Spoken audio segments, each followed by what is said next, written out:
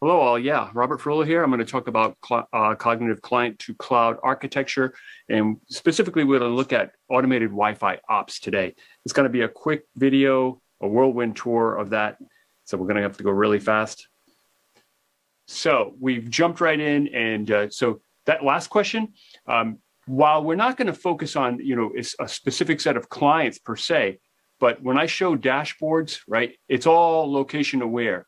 So if you see a dashboard, wherever you were to go in this location, this hierarchy, that's going to be, you know, you're going to be seeing what's going on uh, on these various dashboards. So it's not tracking clients per se, but it is specific to locations. If you were to go to the top of the hierarchy, then you would see all the issues throughout the whole enterprise. So um, quickly, the client journey dashboard here, we're, we're looking at is we're looking at any type of connectivity issues. So whether it's an association, authentication, or a network issue, uh, we're going to be able to bubble that up and we're going to say which clients are having connectivity issues. And this is real time, right? So we have a baseline, we can go back in time. But what you see here are clients that are actually having trouble currently. And if we, uh, yeah, we can see baseline there. You can go back out to a month. But if we click on the authentication issues, we can see six clients that are having a problem with authentication and if we go to the right, we can see the last failure, incorrect PSK, EAPOL, or a radius server unresponsive.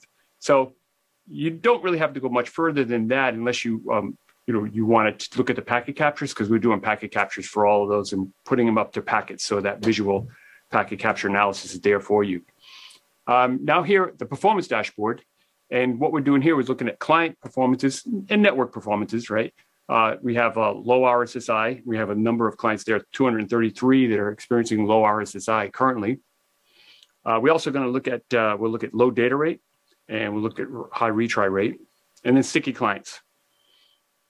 Are those we'll drill down on the Robert? low RSSI clients, and we can see here we got. Uh, you can see to the right you have the uh, RSSI, and for Olivia's tablet, we have uh, neg 77 is the RSSI.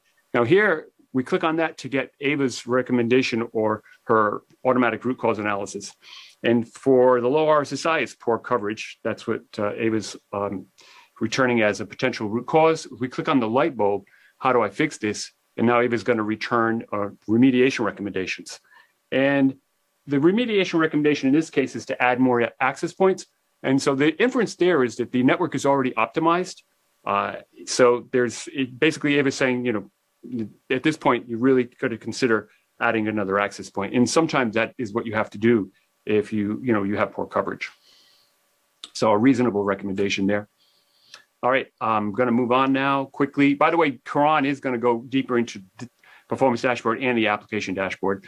So I'm going fast here. Hey, Robert. Uh, Robert, uh, on that first page you showed us, are those metrics configurable? So say we're more concerned hey, about neg 67.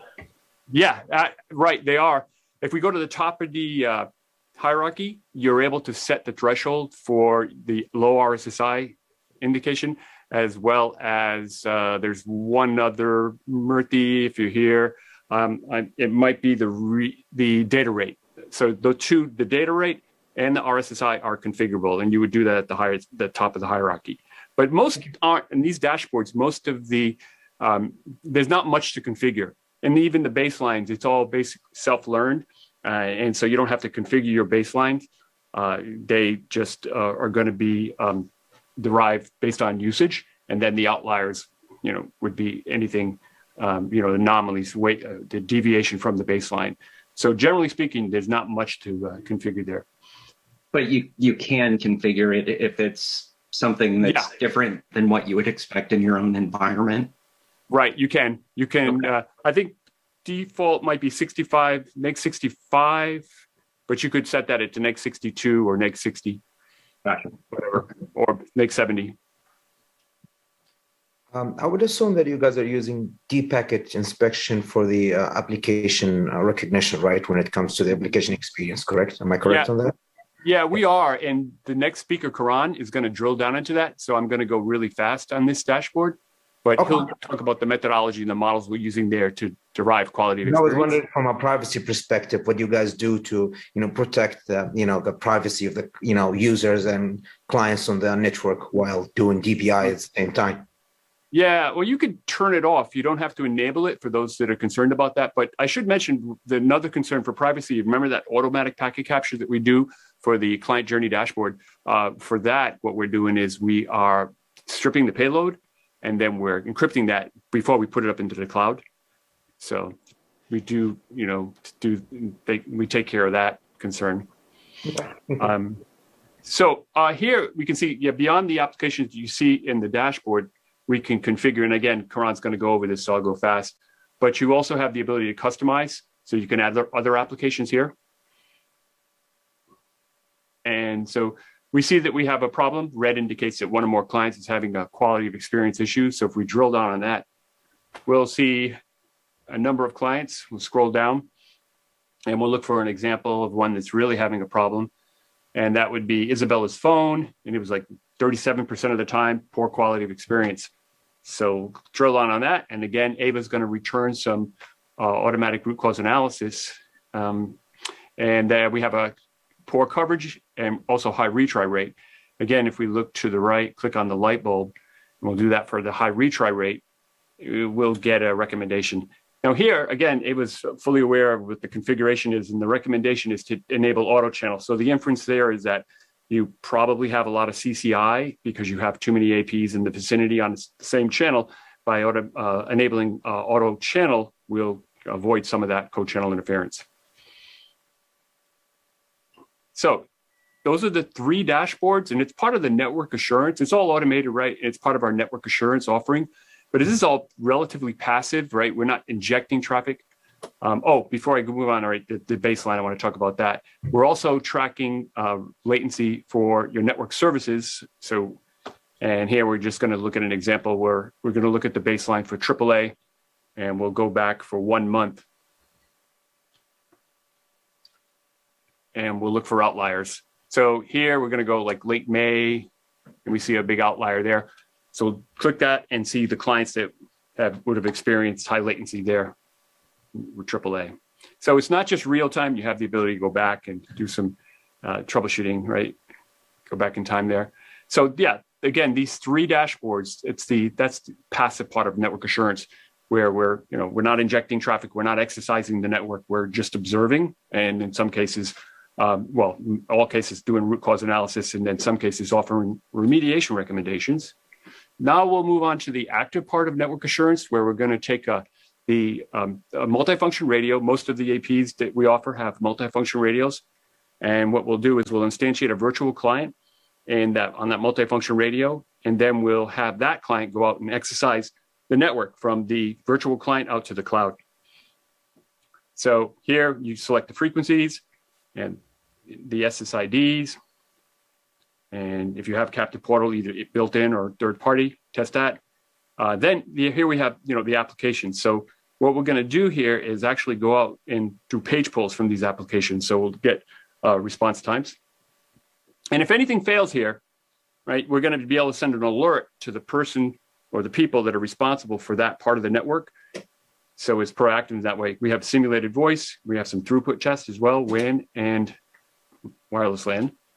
You can schedule these for, to run before the bulk of the workforce comes in, or during the day. It's just another client, right? Doing upload a doc, uh, uploading a doc, downloading a doc, doing a voice call, whatever. Um, so it's non, you know, service interrupting. And uh, you could even do baselining. You have a complaint about voice in an area, you could do calls in that area. Green here for the results, all good. If you see an orange, that means that there is a problem with one or more of the test cases. We can look at who's testing, what's getting tested. You get the association, you get DHCP response time, gateway response times, etc. DNS, WAN latency, and now here application. So we have orange. So one or more of the applications was an issue. In this case, it was Salesforce. And so the IT, right, would have been alerted for that part of the network, well, who's ever responsible for that, you know, location and that way they can get ahead of it and then you know email the users and say hey you know we know we have a problem with salesforce. Well, we're looking at it. We'll update you shortly. And of course you have your simulated voice that's over wi-fi and then your throughput for uh, the internet as well as the over over wi-fi. So it's pretty comprehensive right? Client to cloud this in this case virtual client to cloud but we're trying to make sure that we have um, you know all the SSIDs, all the radios, right? All the applications. They're always available, uh, always performing as expected. If they're not, you know, we can get on top of that. So, uh, next thing I want to do is talk about uh, cognitive maps. So the Sorry, purpose of cognitive maps is really to help with a, a, correlation between an issue or issues and location. So you have your typical APs where you normally see heat maps. Of course, we can do heat maps, but today we're going to look at this correlation, the ability to correlate issues with uh, location. So you can. Robert, I think yep. there was a question. But who wanted to jump in here? Sorry, that was me there. So just with that virtual client testing, I'm assuming that's going to the next nearest AP that it can hear to test against? That's right. You choose which APs, but to be comprehensive, you could schedule it basically so you could have every AP, eventually every radio get tested from an adjacent AP. So we take the, the multifunction radio, instantiate that virtual client, and then connect to a nearby AP and run these tests and, and so on. And you can uh, so you could schedule it so that you actually test every radio, you know, every um, SSID, uh, if you want to be really comprehensive, and all the applications that you would use. Perfect. All right. So yeah, so here we're going to look for, I clicked on authentication. So you see the client show up with red. So that shows you where the clients are having issues with authentication. And here it's not located to a specific area, but uh, this can help with you know getting to root cause if we can uh, find that the problem is associated with one part of the network, you know, or one AP that's running one SSID, etc. So last thing I want to talk about uh, before I turn over to Karan is uh, hitless upgrade. So again, automated Wi-Fi ops, that's the theme here, uh, client to cloud.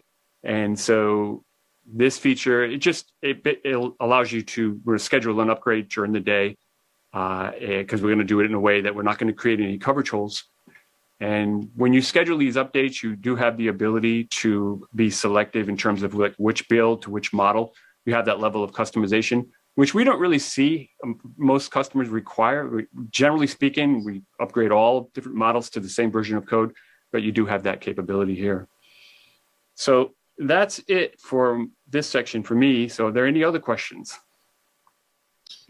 I do have a quick one that's not quite related. Um, can you clarify, does Arista, I could have swore at one point they had something that's like a VLAN concentrator um, mm. As part of the solution. You know, if you yeah. are migrating away from central controllers, you don't want to redo your L2 uh, topology and, you know, VLAN concentration strategy. Is that still yeah. the case, or am I remembering wrong? Uh, yeah, that's been deprecated because you know we went away from that multi-service um, platform, which was a you know basically a tunnel aggregator, but now we use VXLAN, uh, standard-based tunneling back to our switches. So the, that's for the data, right? You can drop the data off locally, of course. Cloud APs that would the, the default would to drop the uh, you know VLAN traffic off locally.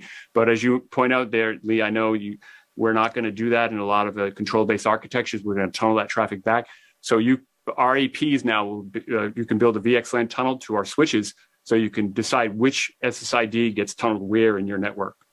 But if I don't have your switches, I'm Yeah, the, yeah, yeah. You, for VXLAN tunneling, I do, and somebody can correct me here in the audience. I do believe that's right now that's not going to work with other switches. There's is it? Yeah. So let, let me answer that question. So basically, it is standard based standard based VXLAN tunneling. So any switch or any device which can terminate VXLAN, but at the same time be able to bridge back. So you could have a traffic coming from one AP wanting to go to another AP, but you want to bring it to a central point and then send it out.